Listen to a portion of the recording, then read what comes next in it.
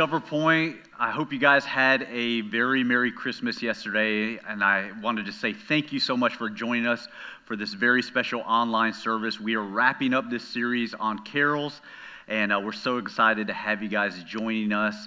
And so, over the last several weeks, uh, we've been going through some of your favorite carols, uh, some of the most popular ones. I encourage you to go back and, uh, and watch those on demand. And uh, just like every week, we've been discussing some of the lyrics that we've heard in some of these carols. And um, today was O come, O come, Emmanuel. And just before we get into the message, I want to give you a little history about this. Um, this song was actually written between the 8th and 12th century, so it's a very old song. And actually, during this era in church history, it was very uh, popular for, for people to sing or chant phrases that started with the letter O, just like the one you heard in O Come, O Come, Emmanuel. And what would happen is that they would sometimes either read a psalm or, or, sing or chant, and they would start these phrases with the letter O, and they were known as O and antiphons. O antiphons. And one of these phrases is what birthed this line, O come, O come, Emmanuel. Emmanuel, God with us.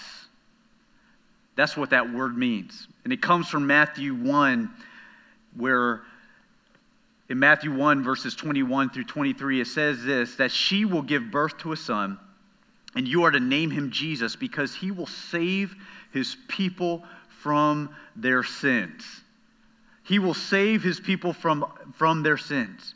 Now, all this took place to fulfill what was spoken by the Lord through the prophet. And just to kind of pause here, this very next part that we're going to read was actually prophesied 740 years before Jesus ever showed up onto the scene, before Jesus was ever born into our world.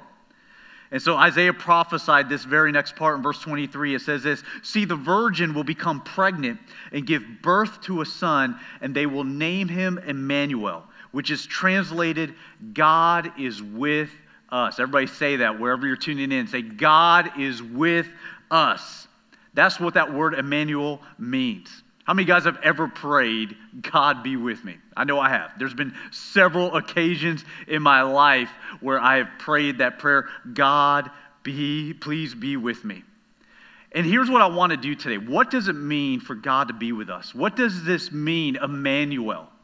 Because this has huge implications.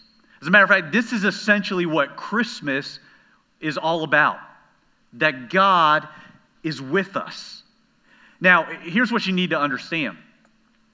Whenever Matthew wrote these verses under the inspiration of the Holy Spirit and was retelling the story of, of how the angel pronounced that uh, the virgin would become pregnant and give birth to a son and they will name him Emmanuel. Whenever, they, whenever he wrote this down and whenever this angel proclaimed it, man, this was like earth shattering news to anyone that was listening or reading these words because it was a proclamation that the God of the universe was coming down to be with us. And to the Jewish audience, this would have been earth shattering news. Because up until this moment, God was very, God was holy. And, and, and not that he wasn't near his people, but his people couldn't really be in his presence. We know from the Old Testament that, that God dwelled in, in the Holy of Holies, and, and we've talked about this before, but that God would dwell in the Holy of Holies, and, and no one was allowed to enter into the Holy of Holies. His presence was so strong. And, and like sin could not even be in his presence. And so, if, it, if a high priest who would enter into the Holy of Holies once a year, he would have to make sure that he was purified, 100% clean before he entered in because of God's presence. Otherwise, he would drop dead. Moses went up to, uh, up to the mountain and, and he asked God to show him his face. And God said that no one has ever seen his face, but he allowed his presence to go before Moses. And that was the closest that anyone had ever been to God in, up until that point. And so when Matthew declared what Isaiah prophesied that God would be with us, this had huge implications for every single person that would have read these words, that would have heard of this good news. And this was the good news that sent the shepherds rejoicing. It's what brought the wise men from all over the world to come and worship the king because they realized that God was here. John the Beloved said this in his gospel. He said, In the beginning was the Word, and the Word was with God, and the Word was God. Who is the Word? He's talking about Jesus. He says that in the beginning was the Word, Jesus. So Jesus has always existed. See, some people think that Jesus, you know, that, that his timeline started when he was born in a manger 2,000 years ago, but Jesus is eternal. In the beginning was the Word, and the Word was with God. He was there in the beginning. Jesus is eternal. Scripture says that all things were created by him and for him and through him. It goes on to say that he was with God in the beginning, and the Word became flesh and he dwelt among us. Just think about that. Jesus, the eternal one, who, who is the Alpha and the Omega. All things were created by him and for him and through him. Came down from heaven to earth, and he dwelled among us. The message translation says this says the word became flesh and blood and moved into our neighborhood. See, this is the true essence of Christmas that Jesus moved into our neighborhood. He became flesh. He became just like you and me. And this has some amazing implications. My prayer is that before you tune off today, that you would understand that God is with you. That God is not only with you, but that He was with you as you look back on your life, and that you will also see that God will always be with you. And I want to unpack those three thoughts today that number one, that God is with you. God is with you. When the angel declared to Mary, he said this He said, Greetings, favored woman, the Lord is with you. And friends, this is such good news for you and me that the Lord is with us. The incarnation is this reality that Jesus is with us forever. Forever. And no matter what you're going through right now, I want you to know that the Lord is with you today. The Lord is with you. 2 Corinthians 1 3 through 4 says this Blessed be the God and Father of our Lord Jesus Christ, the Father of mercies and the God of all comfort. He comforts us in all of our affliction. You know, that word uh, comfort means to come alongside. It's the word parakaleo. It means to come alongside of us. And so, what that means, according to this verse, is that God is the God of all comfort. What does He do? He comes alongside of us in the middle of our afflictions. And there's some of us that are watching right now that maybe this is the first time that you are spending a holiday without a loved one. Or maybe, maybe it's been a couple years, and every time the holidays come up, it reminds you that you've lost someone that you love. I want you to know that in this moment, God is with you. He is here to comfort you in the middle of your affliction. He's here to come alongside of you. If you're feeling alone today, I want you to know that God comes alongside of you like a companion. If you're feeling lost today, I want you to know that God is here with you as your guide. If you're feeling weak today, I want you to know that God is with you as your strength. If you're feeling sick today, I want you to know that God is with you as your healer. If you're feeling hopeless today, I want you to know that God is with you as your hope. If you're feeling like the worst sinner in the world, I want you to know that God is with you as your Savior. God is with you, friends no matter where you're at, no matter what you've done, He is there with you. And sometimes it doesn't feel like He's there with us, especially if we're going through hard times, right? Sometimes it's easy to question where is God? Sometimes it's easy to, to forget His promises that He is always with us. You know, it reminds me of uh, a couple years ago, I took my family to Disney World, and um, my kids were a lot younger then. I think my daughter may have been in elementary, 11 or 12 years old. And there was a ride there at Disney World. Some of you guys have probably been on this ride. It's called the Tower of Terror. And um, if you've ever been on this ride, you know, it's, it's not that scary, but to an 11 year old kid, it's scary, okay? And I remember this was the first time I had ever been on this ride. And so I'm thinking, I didn't know what to expect. My daughter's coming with me on this ride. And I come to find out that it might be a little bit scary, so I'm trying to ask the, the you know the, the, the employees there, hey, is this ride too scary for an 11 year old? And they're like, oh, she'll be fine. It'll be it'll be great. She'll enjoy it. It's it's awesome. And so she's kind of freaking out, and I'm trying to calm her down. I'm like, hey, it's it's cool. Don't worry. It'll be fine. They're, they say it's not scary at all.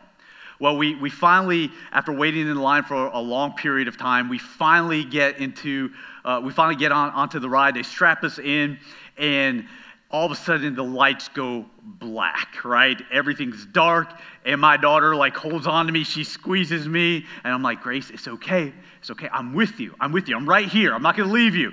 And all of a sudden, like the ride starts, and man, it gets scary to an 11 year old girl in that moment as she is freaking out. She's freaking out. She's probably freaking out that I'm telling this story right now, but she's freaking out. And the whole time I'm holding on to her, I'm like, hey, baby, it's okay. I'm with you. Daddy's with you. Don't worry. I'm not going to leave you. I'm right here with you. And she's freaking out. She's screaming, and, you know, and, and man, the ride's going. And, I, you know, to some extent, I'm having a blast, but I'm also trying to cover her. And, you know, and the whole time, man, she is so freaked out that she forgets that I'm right there with her. And I'm telling her, I'm right here, pumpkin. I'm, I'm right here with you. I'm not going anywhere. And you know what? That's where, that's how many of us are right now. Some of us are going through some hard times, difficult circumstances, and we're freaking out because these problems seem so, seem more real than the God of the universe who's trying to whisper to us and he's saying, Hey, I'm right here with you. And friends, I want to remind you today no matter how big your circumstance is, no matter how big your problem is, no matter what you're facing right now, during this Christmas season, I want you to know that God is speaking to you today and He's telling you, I'm right here with you. I'm holding on to you. I'll never leave you. God is with us. You know, the second thought about this idea of the incarnation is, is this is that God was with us. God is with us, and God was with us. You know, sometimes it's easier to see God in the rearview mirror of our lives rather than in the moment. You guys, you guys know what I'm talking about? Like it's easier to see God in the rearview mirror of our lives than, than in the present moment. There's been several times as I've, as I've looked back on my own journey where I could see God's faithfulness, and I didn't realize that He was right there with me the whole time.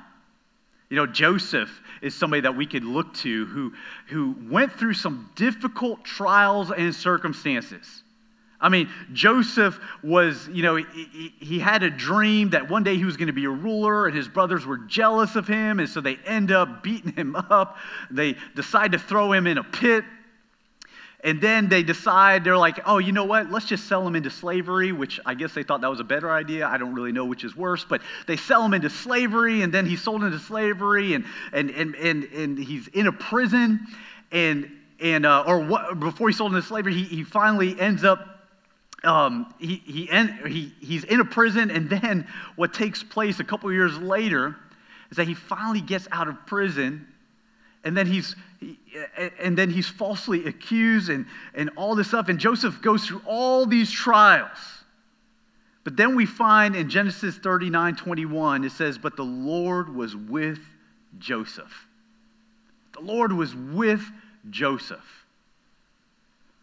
And later on in his story one day after god has redeemed his whole story He's able to look at his brothers who sold him into slavery and tell, and tell them, hey, what you meant for evil, God turned it around for good. Joseph was able to look back on his life and see God's faithfulness and see that God was with him in the pit, in the prison, in the palace, wherever he was at, he's able to say, God was with me. And friends, I think many of us need to be reminded today that God was with us as we look back on the rearview mirror of our lives. We can see God's faithfulness. We can see God being with us in difficult circumstances. You know, several years ago in my own life, I could, well, as I look back on my own life, I could see several different instances where God was faithful and was with me. And I didn't really notice it in that moment. I was like my daughter on that, on that ride, you know, crying out, like, God, where are you at? And God's like, I'm right here. I'm right here. But there's been several moments in my life where I realized that God was with me and that He's always been faithful. God was with me several years ago when I had, uh, I, I, we were, I was a youth pastor and, and we ended up leaving the church due to a couple different circumstances. And this was several years ago. And um, I didn't have another job lined up. And my wife was pregnant. We found out she was pregnant. And I remember freaking out like my daughter was on the, on the Tower of Terror. I remember freaking out, like, oh, where are you at? You got to show up. And, and, and man, just a couple months later, man, God opened up this position at, at another church. I remember another opportunity came my way several years later. It was kind of like this dream ministry position. And, and man, my dreams and hopes were like, uh, were answered. I, I thought to myself, like, this is the perfect opportunity. And, and everything looked great. And then all of a sudden, the door completely shut on us. And I remember thinking, God, where are you at?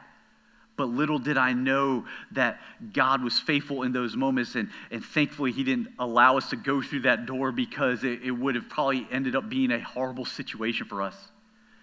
You know, God was with us in, in, in several many opportunities. And, you know, I, I, as I think back, even, even during the seasons where I went through some hard times, difficult times, I look back and I'm like, and I see God's hand all over every step of the way. God has always been with us. I look back even a couple years ago on 2007 the Christmas, uh, a couple days before Christmas in 2007, when my father in law suddenly passed away from a heart attack, had no prior health issues with his heart. And so it totally caught us by surprise. And I remember in, those, in that moment wondering, where is God? But as we look back, we, we see, and even though his death still stings us, even now, several years later, we see that God was with us, comforting us. Man, I could go on and on of just God's faithfulness and, and, and just being with us in times when I thought maybe He wasn't there. And maybe that, and maybe you can too, if you were honest. You could look back at your life and your story and see God's faithfulness, that God was with you. God is with you. God was with you. And number three, Here's another great promise of the incarnation is this is that God will be with you. God will be with you. You know, imagine if Mary could have seen the future. Imagine that. Like, God doesn't allow us to see the future. I wish He would. It would make it so much easier, but then we probably wouldn't trust Him, right? But imagine if Mary could have seen the future, right? Just imagine Mary saying this. Like if she was able to look into the course of time and see the future, she, she would probably say something like this Man, God is going to be with me when all of a sudden I conceive a child by the Holy Spirit. God's going to be with me. And even though people are going to wonder where this baby came from, even though Joseph is going to be like, What happened here? I know that God's going to be with me. God's going to be with me when we have to travel hundreds of miles on a donkey. God's going to be with me when there's no room at an inn. God's going to be with me when I eventually give birth to the Son of God in a manger. God's going to be with me when we flee to Egypt uh, to protect our son. God's going to be with me when my son is 12 years old and, and we, we can't find him uh, and he's been lost and, and he was inside the, in the temple and we, were, we, did, we had no idea. But God is going to be with me in that moment. God's going to be with me in the wedding feast when I watch my son turn water into the wine the very first time. God's going to be with me when I watch my son become falsely accused. God's going to be with me when I see him on trial and tortured, even though he's completely innocent. And God's going to be with me when I watch him nailed to the cross and give up his final breath. Friends, imagine if Mary could have saw all that. She would have been able to say, God is going to be with me. And friends, here, here's what I want you to understand. We, we can't see the future. We don't have the luxury of seeing into the future. But when we read these stories of God's faithfulness in people's lives who couldn't see the future, but we read what took place over the course of their own histories, we can see that God was with them. And how much more is God going to be with us, even though we can't see into the future? We don't know what the future holds, but friends, we do know who holds the future. And the promise of the incarnation is that God is not only with us, was with us, but also will be with us forever, no matter what we go through. Paul says it like this in Romans chapter 8. He says, Who can separate us from the love of Christ? Can affliction or distress or persecution or famine or nakedness or danger or sword? No, in all these things we are more than conquerors through him who loved us. For I am persuaded that neither death, nor life, nor angels, nor rulers, nor things present, nor things to come, nor powers, nor height, nor depth, nor any other created thing will be able to separate us. Will be able to separate us from the love of God that is in Christ Jesus our Lord. Listen to that, friends. Nothing will be able to separate us from Him. That means if it's nothing, that means not sickness. That means not brokenness. That, that means not your failures, not your mistakes, not your divorce, not your hurt, your habits, your, your broken dreams, not your cancer. Nothing can separate you from the love of God because why? God will be with you. God will be with you. Jesus declares in Revelations 1 8, he says, I am the Alpha and the Omega, says the Lord God, the one who is, who was, and who is to come, the Almighty. Friends, the one who is is the one who is with you. The one who was is the one who was with you. The one who is to come is the one who will be with you. Even though you may walk through the valley of the shadow of death, you will fear no evil because your Lord God will be with you. That is the promise of the incarnation that God is with us, that God was with us, and that God will be with us. And friends, that's our hope if we have Christ Jesus today. Nothing can separate us from his love. Nothing. That is what Christmas is all about Emmanuel, God with us. He's with you, friends. But the question is are you with him? Are you with him? See, if you don't have Jesus in your life, I want you to understand something. God wants to be with you, He wants to have a relationship with you. He wants to be the center of your life, and, and, and He wants to be with you through hard times and difficult circumstances. But the reality of it is, is that there has been something that has separated you from Him being completely with you, from you being completely with Him, and that is what has devastated the world, which is known as sin. Sin has separated every single person that's ever been born into this world from a God who came to be with us. But the good news today and the promise of Christmas today is that God can be with you and you can be with God just by simply receiving Jesus into your life, realizing that the ultimate reason why he came was to be with us, was to pay the penalty for our sin. So that we wouldn't have to pay the consequences. Jesus came to us because we couldn't come to him. And he died for us even though we deserved to die. He took the punishment for us even though we deserved the punishment because we've all stood guilty. God came to you because you couldn't get to him. And he paid the price for you today, friends. And all you have to do today in order to be with him, to have a relationship with him, in order for there to not be any separation for the rest of your life from a loving God, is by simply inviting Jesus into your life. And I want to invite you to do that right now. I want to give you this moment, the day after Christmas. I want to give you this moment, this opportunity to be able to start 2022 off as a brand new creation in Christ Jesus. Or to actually end this year by starting off as a new creation in Christ Jesus and to begin with a new life in Christ going into the next year. It's just a matter of you right now, wherever you're at. You're watching online, watching on a device. Maybe you're watching on demand some sometime later, a few years later. It doesn't matter. God's no respecter of time. So right now, I want to invite you to receive Jesus into your life, and I'm going to ask you just to repeat this prayer with me. Just say, Jesus, forgive me of my sins. I know you came for me, and I receive your grace today. I believe you died for my sins and rose again. I receive you into my life.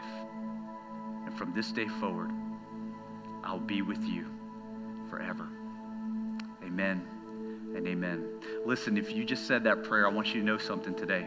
God is with you, and God will always be with you. You are a brand new creation in Christ Jesus. You are forgiven, you have a new life. You've been born again. The Spirit of God is filling you up even right now, and you have freedom in Christ. And so the next step now is go and tell someone. Tell someone what God has done for you. Tell someone the meaning of Christmas that God came to you and you are now with Him. And we'd love to know your story today. We'd love to hear what God has done in your life. And if you'll do me a favor right now, I want you to text DP Connect to 94,000. Let us know that you made that decision. Again, text DP Connect to 94,000. That way we can send you a gift and we can celebrate with you with all that God has done in your life.